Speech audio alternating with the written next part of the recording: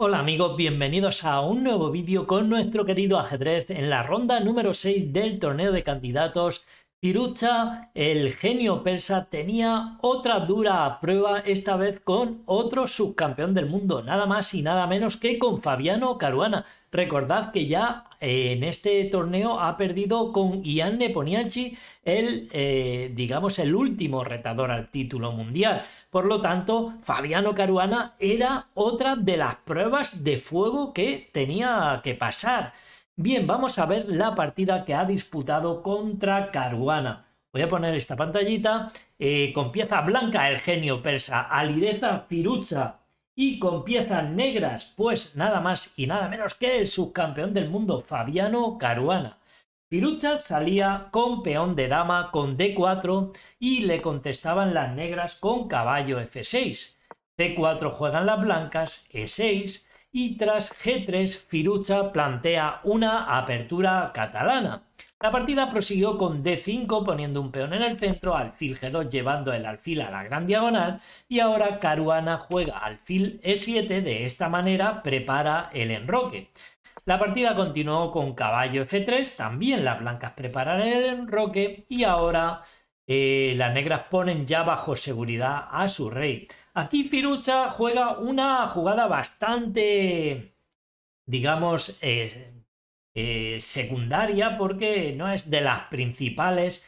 Eh, juega dama d3. Aquí lo más empleado es enroque corto, poniendo seguro al rey. Tras d por c4 las blancas juegan dama c2 atacando con la dama a ese peoncito. Y tras a6 para apoyarlo, pues mm, las blancas pueden evitar el apoyo de ese peón y lo van a capturar, por ejemplo, tras una jugada como alfil d7, dama por c4. Esta es la variante principal de la catalana.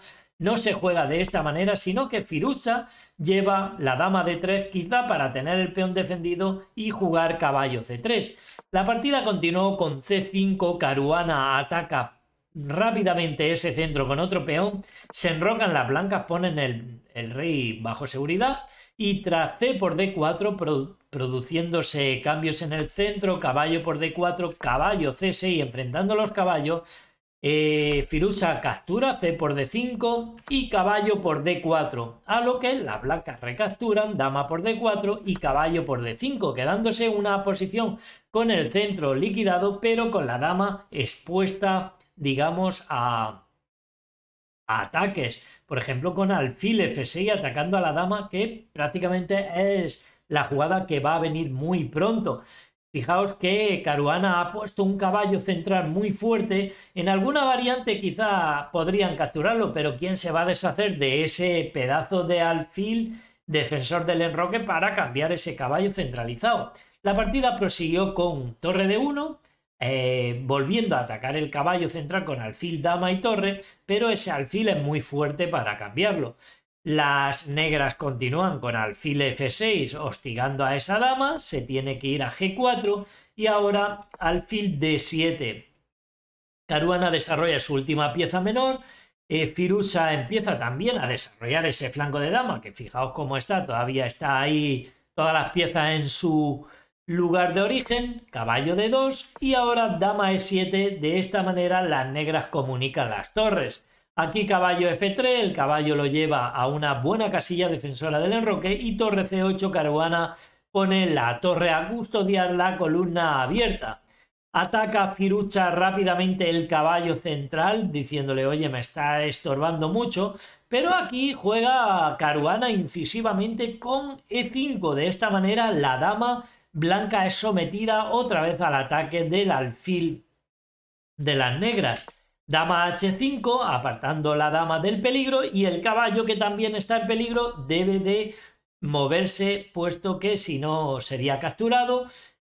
Alfil G5 enfrentando los alfiles. Aquí la idea es, oye, te quiero capturar en F6, no vas a poder capturar con la dama, tienes que capturar con peón y tu enroque se te queda hecho añico, ya que si capturas con la dama, la dama esta está sobrecargada y la torre está atacando también al alfil. Por lo tanto, las negras capturan primero alfil por G5 y caballo por G5, amenazando un jaque mate directamente en H7, pero la defensa de ese mate es muy fácil con H6, atacando al caballo, expulsándolo, obligándolo a retroceder.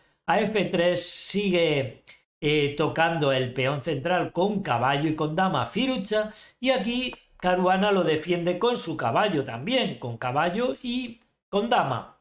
Bien, llega un momento interesante donde el genio persa quizá se esté preguntando, oye, esta gente es muy dura, me está costando mucho el torneo de candidatos, me está costando esfuerzo, Nepo me reventó la cara, tengo que ser creativo, tengo que demostrar que soy un genio y tengo que hacer algo. Y hace una jugada eh, muy bruta diciendo, oye, que aquí me quito la camiseta o lo que haga falta. Y le mete un sacrificio de calidad torre por D7. Y quizá no sea eh, lo más correcto que... Cuanto menos es una jugada muy arriesgada. Aquí parece que lo mejor es eh, A3 con la calma, sencillamente evitando algún tema de caballo B4 en el futuro o buscando una expansión. Pero la jugada que hace el genio persa aquí pues parece que no es la mejor. Le mete un golpazo aquí, torre por D7 sacrificando la calidad. Vamos a ver qué ideas trae el genio persa tras dama por D7. Vemos que el peón central está tocado, pero lo que tiene en mente Firucha es alfil H3 tocando a la dama y a la torre y sigue tocando a ese peón. Pero claro, aquí Caruana encuentra la mejor refutación que es F5 con el feón al ataque, impidiendo ese ataque a las dos piezas mayores. Tras F5, las blancas capturan E por F5. No es bueno capturar con el alfil porque tienen un recurso de salvación. Parece que, bueno, de hecho está tocando a las dos piezas, pero tienen las negras el recurso dama E8 tocando a la dama de H5 que está sin defender. Por lo tanto, si retiran la dama, la torre se puede mover y si capturan, la torre sale de la amenaza recapturando.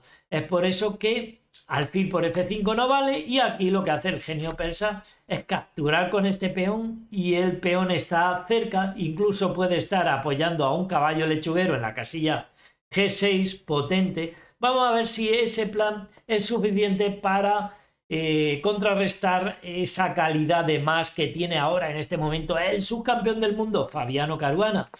Juegan torre C8, de esta manera la torre se suma a la defensa del peón central y ahora pues eh, el avance no pincha a dama y torre. Así que tras, perdón, aquí me he ido, tras el movimiento de de torre, eh, Firusa juega caballo H4 para meter el caballo lechuguero en la casilla G6 tocando la torre.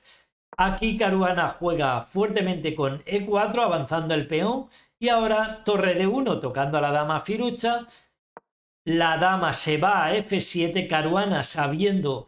Bueno, aquí es sabedor de que tiene ventaja de calidad, pide el cambio de la dama y diciéndole, oye, también te estoy tocando el peón de A2 por si te vas.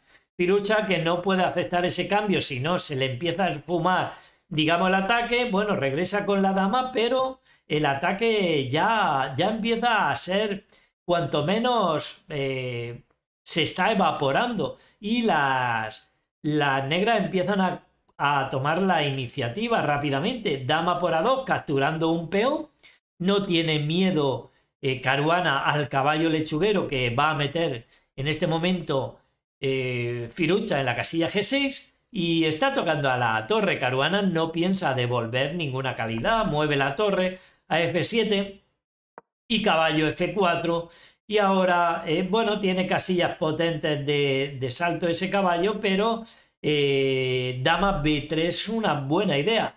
Apoya el peón que avance y también está igual apoyando en algún momento un salto de caballo eh, vía, e, vía E5, vía D3 sería un buen caballo lechuguero. No obstante, la idea parece que es avanzar el peón que esté apoyado por torre y por dama. Aquí juegan alfil G4 con la idea de, oye, alfil H5, te pincho otra vez las dos torres a ver si recupero mi calidad. Igual esta variante ya la había analizado Tirucha y pensaba que iba a recuperar calidad, pero E3 viene y ahora no sirve. Tras E3, aquí mueven el rey a G2 la blanca. No sirve directamente alfil H5 tocando a las dos torres, ya que viene E por F2 intermedia, ataca al rey, jaque y una vez zampe, zampe con la dama, pues resulta que eh, torre por F5. Aquí realmente tras torre por F5 no se puede capturar esta torre porque la dama al capturar también deja de defender a esa torre, solo la defiende el alfil y si el alfil captura en E8 la dama puede capturar en D1 y las negras pues tienen bastante bastante ventaja con la calidad, mejor posición, un peón de más, así que no juegan alfil H5 aquí la blanca, sino que juegan rey G2 para evitar eh, la intermedia E por F2. La partida continuó con torre de 8 enfrentando las torres, tras torre por D8, eh, caballo por D8 y ahora F por E3. Firucha aquí eh, vuelve, vuelve a tener un peón y pieza por la calidad, pero evidentemente la iniciativa ya es de las negras con torre C7. Primero cede la casilla al caballo para que se recicle, una muy buena jugada, el caballo va a disponer de buenas casillas tanto en G5 como en E5, pero sobre todo la torre está amenazando directamente torre C2, me zampo la dama eh, porque queda clavada, por lo tanto hay que hacer algo, aquí mueven el rey a, H3 las blancas y ahora caballo F7, reciclando este caballo va a convertirse en un, en un amo de la pista, en un jefe de la discoteca, alfil F3 activando el alfil porque aquí choca con su propio peón, pero tras torre C2 toca la dama, ataca el peón de B2. Fijaos si cae ese peón de B2. Las negras, aparte de la calidad, van a tener dos peones potentes pasado y no parece que eso se pueda evitar. Mm, dama de 1 y aquí dama por B2 ya, ya es suficiente para ganar, pero ya mete, activa el caballo. Caruana prefiere tener otra pieza activa atacando al rey, ganando un tiempo sobre ese rey. Rey G4 no puede regresar a la segunda y caballo por F3 simplificando aún más la posición caruana tras dama de 8 jaque. Aquí Firucha busca algunos temas de tablas, rey H7 y ahora rey por F3. Y ahora en este momento Caruana se zampa este peón. Quedan dos peones pasados potentes, calidad de más, un peón extra ya también para las negras y las blancas están de abandono aquí. Busca el recurso dama E8 diciendo, oye, si intentas coronar, por ejemplo, vamos a obtener igualdad con esta jugadita, dama G6, rey G8, dama E8, rey H7, dama G6, rey G8, dama E8, repitiendo jugada y entablando. Por lo tanto, Caruana que ve eso y dice, nana, no, eso no, nanay, nasty de plasti. Y vuelve con la dama a F6 defendiendo cualquier tema de tabla y además atacando al feón. Aquí jugaron E4 apoyando ese peón, pero ahora torre por H2 eh, captura un peón más caruana, dama D7 intentando liquidar esos, peones, pero viene dama C3 jaque, rey G4 y dama D2. Caruana pide el cambio a Firusa sabiendo que tiene la posición ganada si cambian torre por D2 y estos peones corren como un Saimbol, no los para ni Dios. Así que juegan dama A4, pero Firusa en esta posición decide rendirse porque todas las variantes llevan, llevan a la pérdida de material o incluso temas, temas de mate. Eh, aquí prácticamente con esta partida que pierde el genio persa, se hunde en la miseria, se hunde en la tabla de clasificación, pasa a último lugar, nada más y nada menos. Creo que nadie, ninguno esperábamos este resultado. Todavía hay mucho torneo, pero estamos ya en la ronda número 6 y Firucha está ahí eh, el último. Va a tener que apretar muchísimo el acelerador. ¿Por qué se rinde aquí? Pues porque viene, por ejemplo, entre otras muchas H5 y ahora si rey F3 dan mate en F2 rápidamente con torre con dama. Si rey G5 dan mate con dama de 8, F6, dama por F6. Y si capturan con el caballo, pierden este caballo tras dama, e2, jaque y a la siguiente me como el caballo, eh, perdiendo automáticamente. Como os digo, eh, se ha hundido hasta el último puesto. Recordad que Nepo va en primer lugar, Caruana en segundo y lo sigue en tercer lugar eh, Hikaru Nakamura. Espero que os haya gustado un montón el vídeo. Si ha sido así, no olvidéis apoyarlo con un me gusta. También la descripción del mismo. Estoy dejando el enlace a la página web de chess.com para que os registréis y podáis jugar al ajedrez. También todas mis redes sociales. Y sin nada más, por aquí os dejo otro par de vídeos que sé que os van a encantar. Un gran saludo para todos, amigos.